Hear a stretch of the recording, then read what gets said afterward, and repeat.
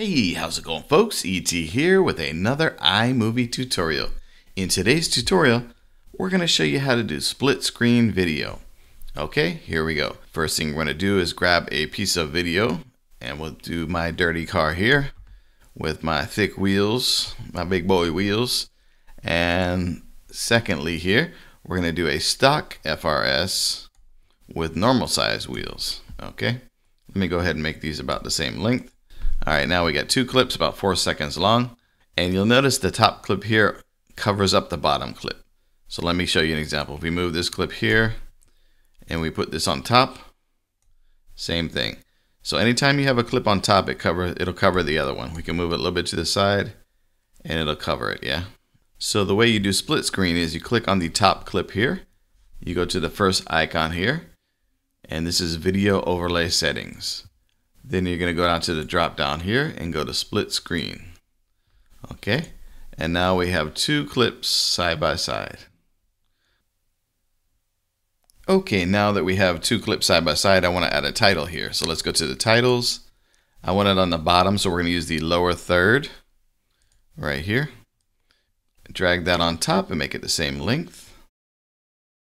Gonna double click. We're gonna go over here and we're actually gonna change the text here to thick.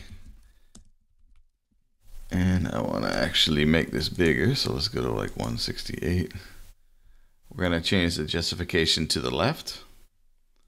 Then I'll space it out a little bit and then do thin. But I need a little bit more space. Okay, so now we have our video on the left, which has the thick 17 by 9 aftermarket wheel with a nice 255 tire. And the video on the right has the stock. Okay, that's it for part one of this tutorial. Now let me show you what I'm gonna do for the second part. Okay, for part two of this video, I wanna show you how to make this here. It takes a couple extra steps, but in the end, I think it's gonna look a lot better. So what we have here is the video that we made, the split screen video. And what I did was I created a transparent image with custom text, custom fonts, and then I overlaid it on top. So that's the basics of what I did. So what you're gonna have to do is with your split screen video, we're gonna have to export it right now to make it into one video since iMovie has a limitation and won't let us add another layer up top here. So let's go ahead and do that.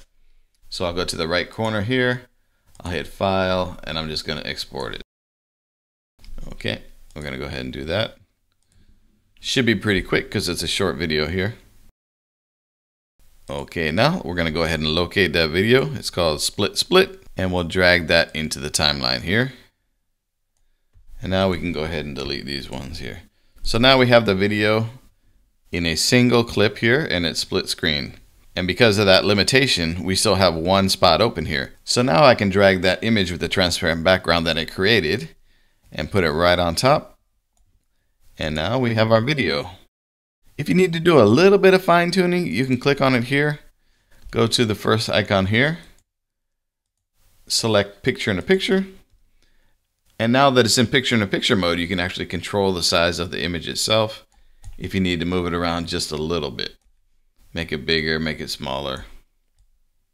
Okay, so maybe something like that. But we can actually watch the movie and see if it's in a good spot. And I think it is. I think I'll make it a little bit bigger. And once you get it to the position you like, you can pretty much export that movie or you can keep adding clips and make make a longer movie, you know, whatever you, you feel like doing, yeah. Well, okay, that's it. That's how you do it. That's how you kind of kick it up a little bit, make it a little bit, you know, better looking.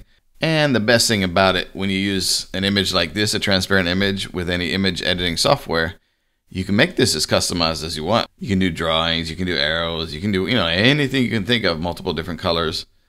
And depending on what video you're doing, you can make your projects look pretty cool. Okay, well that's it. I think we're done here. As usual, don't forget to hit that thumbs up, subscribe, comment, and all that jazz, and we'll see you next time. Peace and aloha.